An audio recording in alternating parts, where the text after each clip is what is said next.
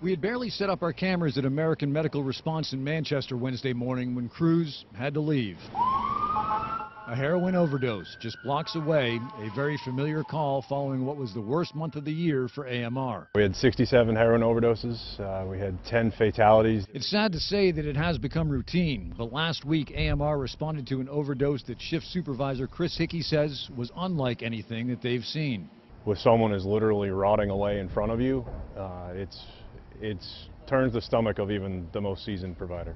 And when the addict was revived, he told Cruz that he believed he had injected what's known as crocodile. It's pretty much the dirty sister of uh, morphine and heroin.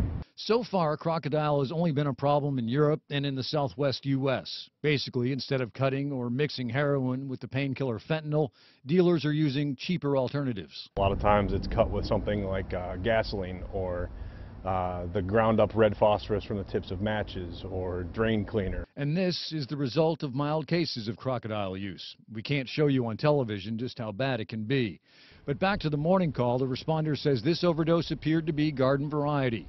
Narcan had the user up and walking just minutes after they say he was on the verge of death. And they also say the chances are they'll see him again. Oh, a great likelihood that we will see, see him again. And that's because for so many addicts, the pull of heroin is almost unbeatable, no matter what it's cut with or what the consequences are.